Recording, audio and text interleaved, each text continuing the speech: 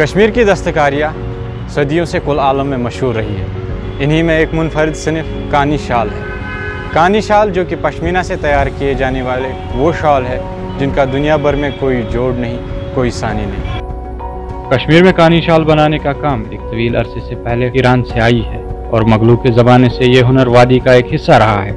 ये हाथ से बना हुआ और बेशुमार छोटी छोटी लकड़ियों का इस्तेमाल करते हुए इस्तेमाल किया जाता है, जिसे कानी या तुझ कहते हैं। शाल की तख्लीक शुरू करने से कबल इसका पूरा खाका तैयार किया जाता है।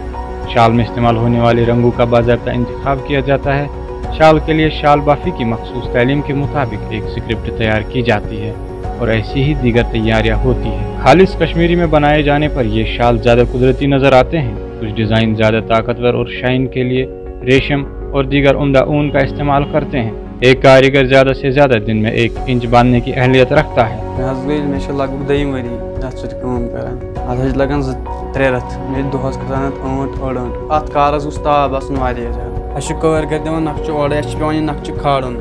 अत गुस ओकुन योकुन थोड़ा डालन कहें यह गुस ये मे नक्श यह गुस तमे आई खचुन। कानी शाल की जीआई रजिस्ट्रेशन कश्मीरी दस्तकारी की बैन अवी ब्रांडिंग के साथ शुरू होने वाला पहला संग मील है। जो इसी नाम के दूसरे शाल की फरोख्त करने से मना करती है। लेकिन अब आहिस्ता आहिस्ता इन दस्तकारों की इस फन से दिलचस्पी खत्म होती जा रही है। इसकी अहम वजह यह है कि दस्तकारों को अपनी मेहनत का मुनासिब सिला नहीं मिल पा रहा है और मशीन से तैयार किए जाने वाले शाल अब इन कारीगरों के लिए एक बड़ा चैलेंज बनता जा रहा है, क्योंकि हाथ से तैयार किए जाने वाले कानी शाल की कीमत एक लाख से चार लाख तक होती है, जबकि मशीन से तैयार किए जाने वाले शालों की कीमत पचास हज़ार के आसपास होती है। पाँच शे रेत ये गोस बे सबक ये कार यह मेहनत कार।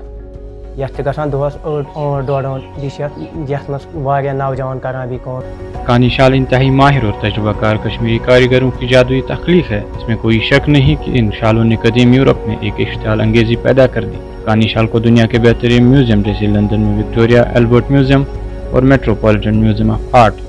New York के शोबा इस्लामी फ़न में कश्मीरी दस्तकारी की दिलकश नुमाइश कर रहे हैं।